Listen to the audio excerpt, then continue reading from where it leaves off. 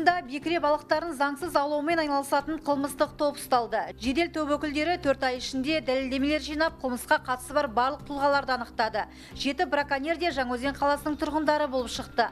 Қаскөйлер арнайы операция кезінде өздерінің қызметін жүзеге асырған базалардың бірінде ұсталды. Айғақты зат ретінде 450 келіден астам қызыл кітапқа енген балық, 4 мұздатқыш камера және бірнеше жүзу құралы табылды. Сондай-ақ тексеру барысында жалпы сомасы 550 мың теңге ақшалай қаражат тәркіленді. Екі қылмыстық іс қозғалып, сотқа дейінгі тергеу жүріп жатыр.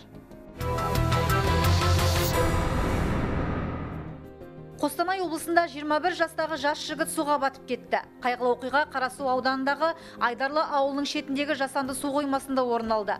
Іздестіру жұмыстарының нәтижесінде аумақтық жедел құтқару жасағының қызметкерлері 1999 жылы туған жігіттің денесін судан алып шықты. Сүңгуірлер мәйітті полиция қызметкерлеріне тапсырды. Куәгерлердің айтуынша жас жігіт су айдынына достарымен демалуға барған.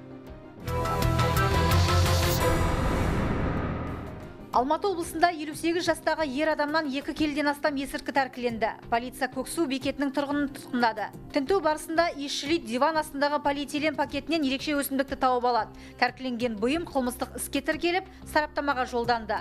Айта кетейік, жыл басынан бері полиция қызметкерлері 61 келден астам есірткі заттарын тәркілеген. Олардың арасында 300 грамм героин, 57 келі марихуана мен 2 келден астам гашиш есірткілік заттары бар. Маңғыстау полициясы есірткі зертханасын анықтады. Күдікті оқиға орнында ұсталды. Ол Түпқараған ауданы Баутина ауылының 23 жастағы тұрғыны болып шықты. Жедел ақпарат бойынша жас жігіт өз үйінің ауласында есірткі өсімдіктерін өсірумен айналысқан. Барлық материалдар тәркіленіп сараптамаға жіберілді. Сотқа дейінгі тергеу жүріп жатыр. Ауыл тұрғынына 2000 айлық есептік көрсеткіш көлемінде айыппұл салынады немесе 2 жылға дейін бас бостандығынан айыру жазасы берілуі мүмкін. Бұлтартпау шарасын сот анықтайды.